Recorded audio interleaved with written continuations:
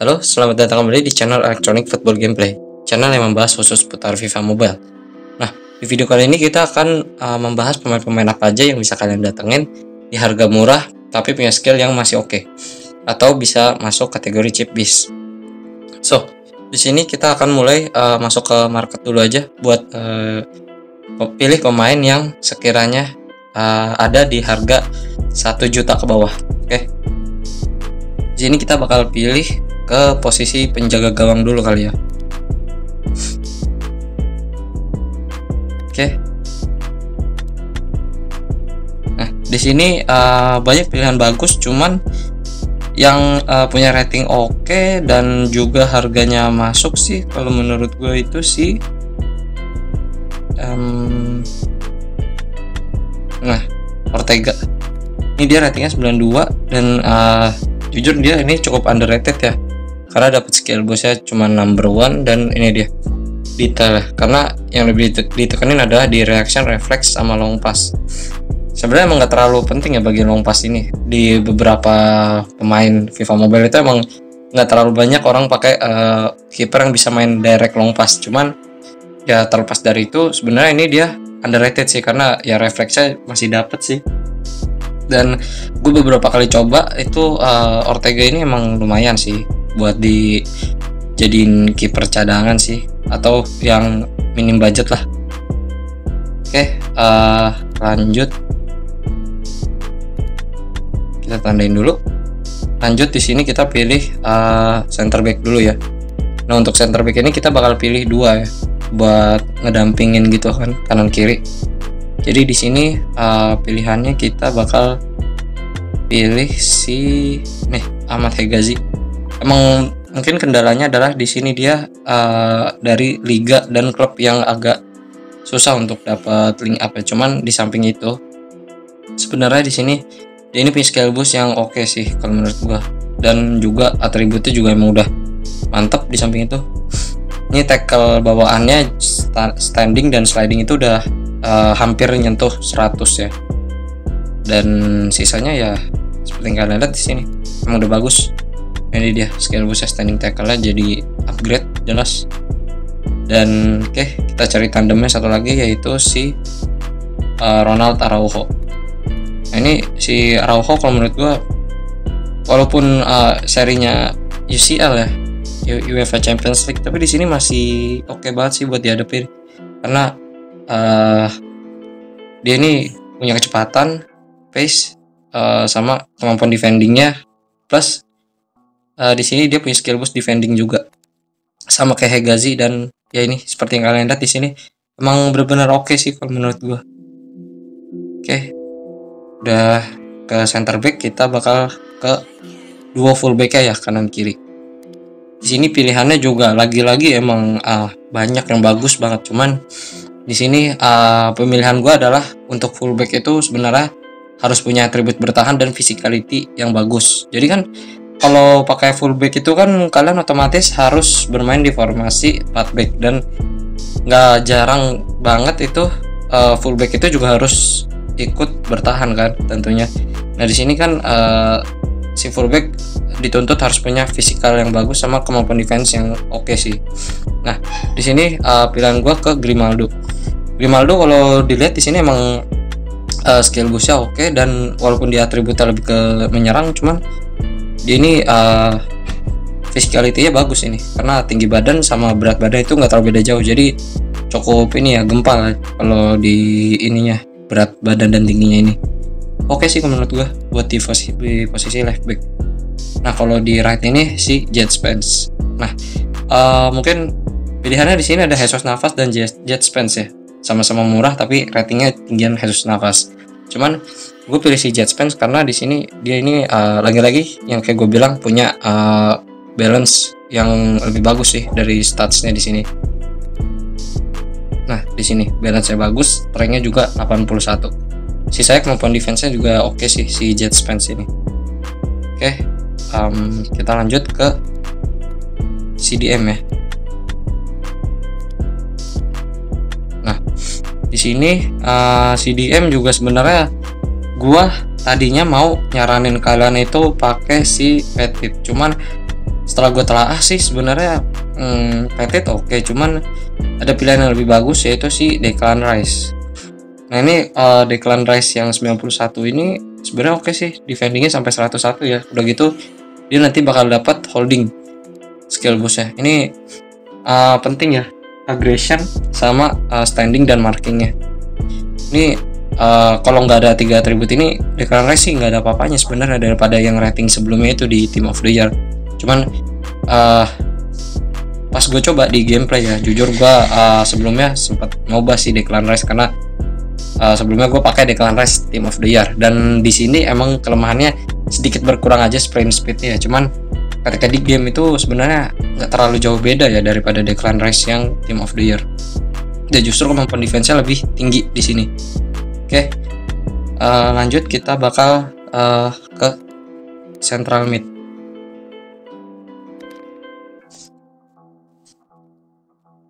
Nah, di central mid ini jelas eh, nggak uh, bisa ditoleransi lagi sih si Jude Bellingham ya di sini.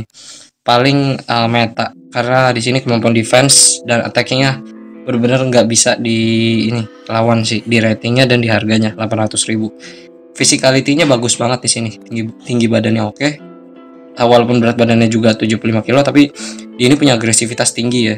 Karena walaupun dia beberapa kali gampang dijatuhin mungkin tapi dia bakal langsung bangun dan langsung ngerebut bola karena aggressionnya cukup tinggi di sini di samping itu sprint speednya tinggi dan kemampuan long passnya juga jadi makin bagus di sini. Jadi bukan sekedar gelandang box to box biasa sih. Dan visionnya di sini udah 100 dia bisa uh, ngejangkau passing-passing yang uh, jauh lebih bagus tentunya. Oke di sini uh, lanjut kita bakal pilih si uh, LM dan RM ya. Left mid dan right mid. Nah, di sini kalau pilihan gua di posisi left mid dan right mid ini uh, mungkin lebih ke condong itu untuk crossing ya. Dan juga mungkin uh, bisa lah finishing. Nah, di sini untuk pilihan right mid gua ada si Felipe Anderson. Ya ini dia kaki kanan seperti yang kalian lihat dan di sini emang skill bawaannya ini sendiri emang masih mumpuni sih kalau menurut gua dan ya ini emang harganya juga worth it sih dan emang bagus banget kalau menurut gua. Oke di sini kita tandemin dia sama si Ivan Perisic. Enak nih sama-sama Serie A. Dan di sini Perisic ini enak. Strong footnya ini 5 dan harganya 800 ribu. Udah gitu dia punya kemampuan uh, crossing oke okay, short pass long pass visionnya lumayan tinggi lah. Sprint ada. Dan ya ini dia long shotnya finishingnya juga ada. Jadi benar-benar uh, ini ya multi purpose juga ya. Bisa kalian gunain sebagai crosser ataupun kalau dapat momentum uh, cetak gol dia juga bisa diandelin sih karena kedua kakinya aktif loh. Ini uh, jarang-jarang sih left mid yang gacor kayak gini selain Osman Dembele ya. Oke uh, lanjut kita ke central attacking midfielder. Nah, oke di sini kita bakal langsung pilih si engkungku.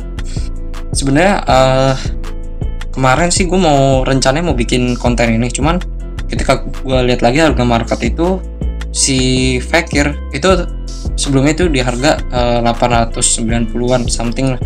Tapi sekarang ini harganya udah satu juta seratus ribu. Jadi uh, dengan berat hati gue coret dia dari pilihan gue karena yang nggak sesuai budget. Tapi kalau mau tetap kalian pakai si Fekir ya ini oke okay sih pilihannya tapi di sini gue kasih alternatif yaitu ungkungku nah ini dia.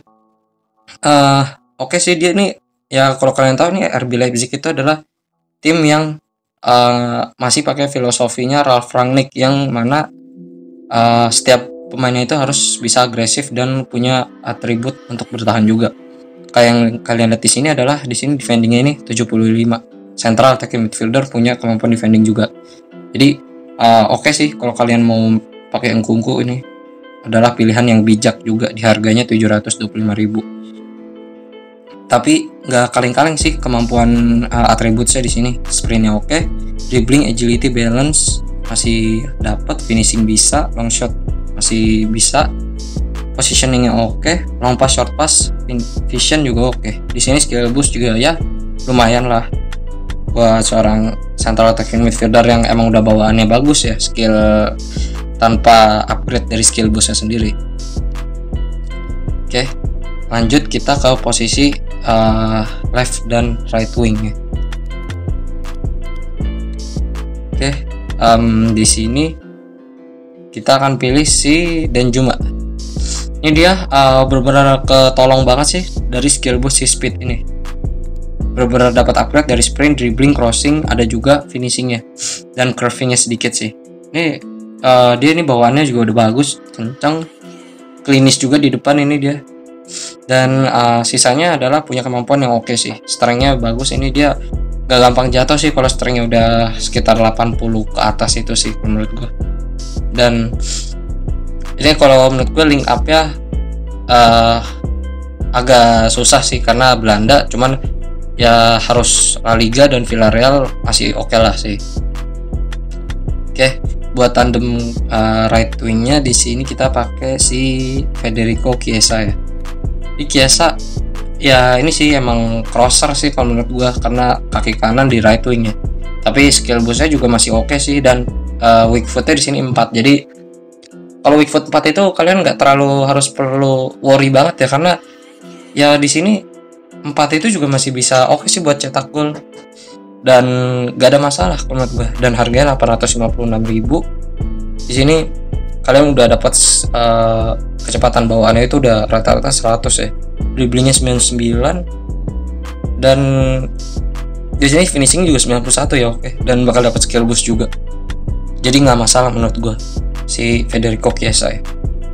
Oke, kita lanjut ke posisi terakhir ya, striker. Di sini uh, bakal gua kasih dua pilihan buat kalian yang mungkin uh, mau cari tandem ya buat striker.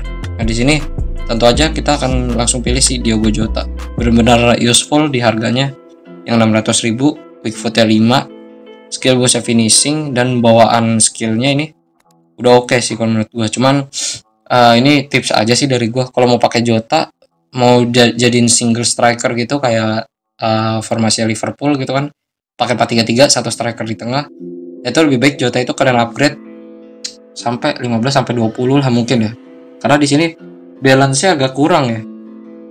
Dia uh, beberapa kali mungkin uh, kalau ketemu defender yang gede itu nggak terlalu bagus uh, ini ya keseimbangannya buat ketika holding bola atau mau ngerebut bola.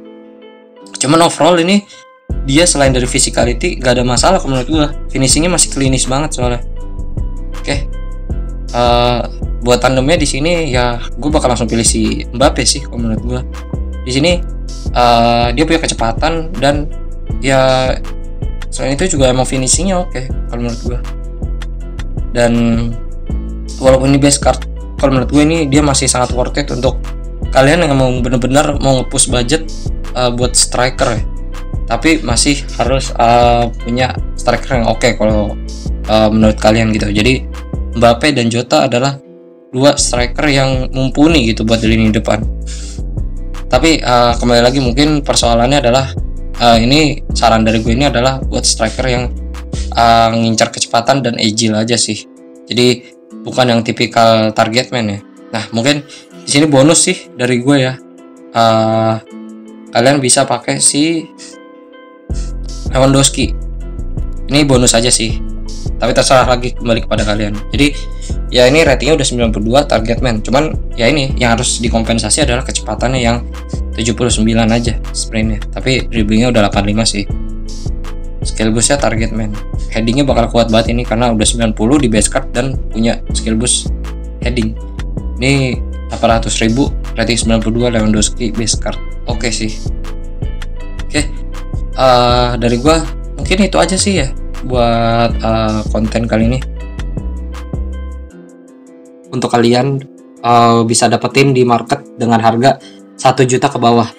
Nah uh, pendapat kalian gimana nih? Apakah pemain-pemain ini worth it untuk didatangkan atau sekiranya kalian masih punya rekomendasi pemain lain yang lebih worth it harganya dan skillnya juga lebih bagus dari uh, rekomendasi gue kalian tentunya bisa drop uh, pendapat kalian di kolom komentar.